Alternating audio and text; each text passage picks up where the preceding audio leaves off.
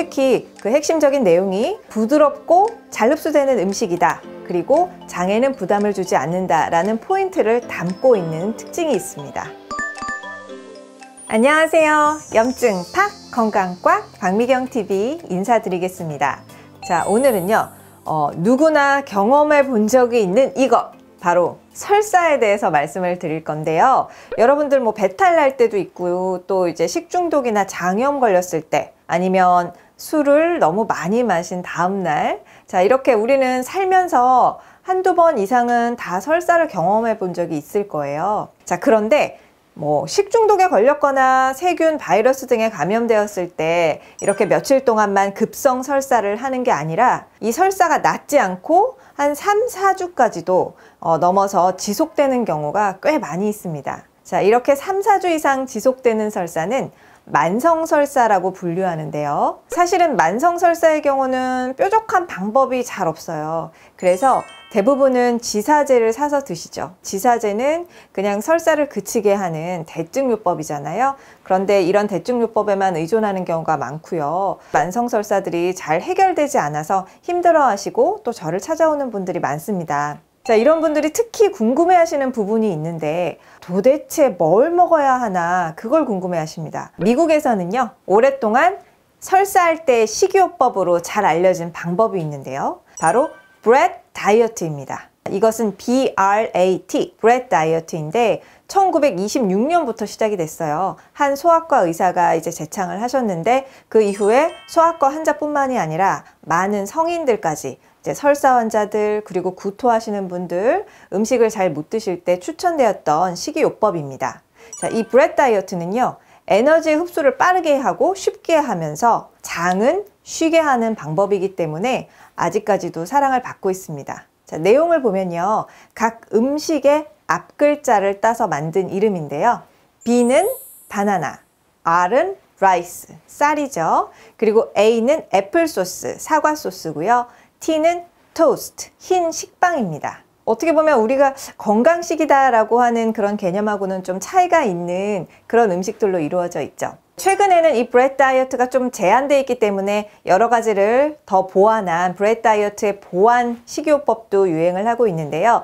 사실 이 브렛 다이어트의 핵심은 설사 환자분들이 뭔가 쉽게 골라서 드실 수 있는 음식들을 정해주었다는 데 의미가 있고 특히 그 핵심적인 내용이 어, 부드럽고 잘 흡수되는 음식이다. 그리고 장에는 부담을 주지 않는다라는 포인트를 담고 있는 특징이 있습니다. 브렛 다이어트를 하나씩 한번 살펴보면 소화하기가 부드럽고요. 그리고 이렇게 빨리 소화되면서 대장으로 넘어가는 찌꺼기는 적은 음식들로 이루어져 있습니다. 바나나, 쌀, 흰빵 모두는요 부드러운 질감의 음식이면서 우리가 먹었을 때 바로 당분이 흡수되어서 에너지 보충을 시켜주는데 좋은 음식입니다. 그리고 애플 소스의 경우에는 이거는 이제 사과를 설탕과 함께 끓인 형태인데, 그러니까 애플잼이라고 생각하시면 쉽죠. 그래서 으깨지고 익혀진 사과와 또 설탕의 당분, 즉 에너지를 쉽게 흡수할 수 있게 됩니다. 또 중요한 것은 바나나와 사과에는 수용성 식이섬유인 팩틴이 들어 있습니다. 팩틴에는 불용성도 있고 수용성도 있지만 이렇게 잘 익은 부드러운 과일에 들어있는 수용성 팩틴은요. 물을 흡수해 줍니다. 그래서 변의 형태를 이루는 데 도움을 주어요. 하지만 어, 장을 크게 자극하지는 않습니다. 반대로 거친 식이섬유, 불용성 식이섬유라고 해서 물에 녹지 않는 것들은요. 장을 자극하고 배변을 자극하기 때문에 식이섬유라고 해서 다 좋은 게 아니라 설사를 할 때는 피해야 하는 식이섬유입니다. 자, 그런데 BRAT에 들어있는 잘 익은 사과와 바나나의 수용성 펙틴은 설사 환자들에게 도움이 되는 것이죠. 즉, BRAT 다이어트의 두 가지 키워드, 소화되기 쉬운 전분과 수용성 식이섬유입니다. 자, 그런데요, 우리 한식에는 BRAT의 rice가 사실은 주식이에요. 그래서 한식이 뭔가 장이 불편해서 트러블 생기고 설사하는 분들한테는 좋은 식단이라고 할 수가 있는데 문제는 뭐냐? 짜고 매운 것이 장을 자극할 수 있는 게 문제죠. 그래서 설사를 하실 때는 한식을 드시되 이제 부드러운 흰 쌀밥으로 드시면서 김치나 찌개류는 제외하고 드시는 게 좋습니다. 자, 여기서 또 포인트가 현미밥이 더 좋다고 생각하시는 분들이 있고요. 아니면 통곡물이나 잡곡밥이 더 좋다고 생각하는 분들이 있는데요. 설사할 때는 금물입니다. 왜냐하면 장에 독소가 되는 렉틴을 함유하고 있고 또 거친 불용성 식이섬유가 장을 자극하기 때문입니다. 때문에 우리가 평소에는 흰쌀밥이 왜 살찐다고 피하지만 설사 환자들에게는 아주 좋은 형태의 밥이라고 할 수가 있어요. 자, 그런데 여기서 한 발 더 나아가서 흰 쌀밥보다 더 좋은 rice가 있습니다. 바로 누룽지 밥입니다. 자, 우리가 예전부터 누룽지를 끓여서 숭늉으로도 마시고 또 밥 형태로 이제 누룽밥으로도 드셨잖아요. 그런데 이 누룽지가 알고 보면 설사에 좋은 약이라고도 할 수 있어요. 동의보감의 누룽지는 취건반이라고 해서 소개가 되는데 소화기 질병, 뭐 설사, 구토 이런 것들로 인해서 잘 먹지 못할 때 취건반을 먹으면 중초를 보하고 비위를 튼튼하게 한다고 소개되어 있습니다. 자, 그리고 사실은 누룽지가 더 맛있잖아요. 그게 왜 그러냐면 쌀 속에 있는 전분이 한 번 더 소화돼서 더 짧아졌기 때문에 단당류가 늘어났기 때문에 입에서도 달아요. 그래서 이 단당류는 이제 만성설사로 힘 없는 분들이 드셨을 때 더 빠르게 에너지를 공급하는 데 좋은 장점이 있습니다. 그리고 또 하나는 흡착입니다. 흡착 효과가 있어요. 자, 쌀이 이제 탄화가 되는 거죠. 갈색으로 약간 노릇노릇하게 그렇게 변한 부위는 흡착성을 갖게 됩니다. 그래서 장내에 있는 뭐 독소나 과도한 수분을 흡착할 수 있는 그런 구조가 돼요. 그래서 이제 고깃집에서 우리가 왜 기름진 음식 많이 먹고 나서도 후식으로 누룽지 드셨을 때 그냥 쌀밥 드셨을 때보다 뭔가 속이 편한 이유도 기름기나 노폐물들을 흡착하는 그 해독 효과가 있어서 그렇습니다. 탄화된 음식의 해독 흡착 효과는 바로 지사작용을 도와주게 됩니다. 누룽밥뿐만이 아니라 한약재도 설사를 멈추는 처방을 쓸 때는 일부러 살짝 태워서 씁니다. 그것을 촉법이라고 하는데요. 어, 이 촉법을 쓰는 약재들은 뭐 특백엽이나 애엽, 쑥이죠. 그리고 산약, 마, 그리고 백출 같은 것들 이것을 마른 팬에다가 이렇게 덮어요. 그래서 갈색이 될 때까지 이렇게 볶은 다음에 약에다가 집어 넣거든요.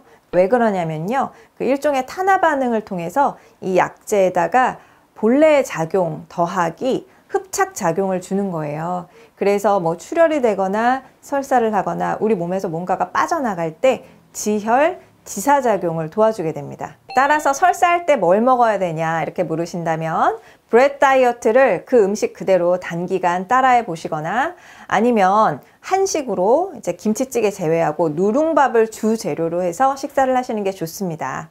자, 이때 어떤 식이요법이든지 설사할 때 우리가 꼭 하나 기억해야 할 것, 주의해야 할 것은요.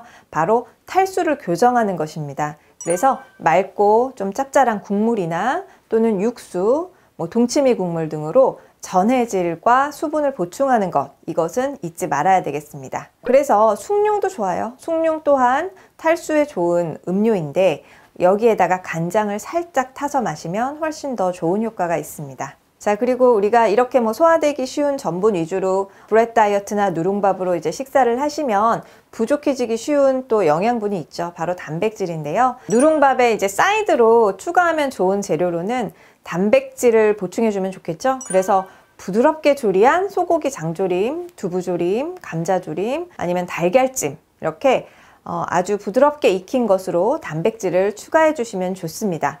대량의 단백질은 또 설사를 유발할 수 있으니까 주의하시고요. 그리고 여러분 채소 드시고 싶을 때도 조심해서 드세요. 거친 채소는 피하시고요. 뭐 김치, 열무김치, 양파장아찌 이런 것들은 장을 자극하는 거친 섬유질을 함유하고 있어서 설사를 다시 좀 악화시킬 수 있습니다. 그래서 채소를 드실 때는 부드럽게 익혀서 또는 갈아서 이렇게 조리를 하시고 또 오랫동안 씹어야 되고 소량만 드시기를 권해드리겠습니다. 네, 선생님 그럼 죽은 어때요? 이런 질문이 이제 들려오는 것 같은데 사실은 죽은요 꼭 간장을 곁들여서 드시는 게 포인트고요.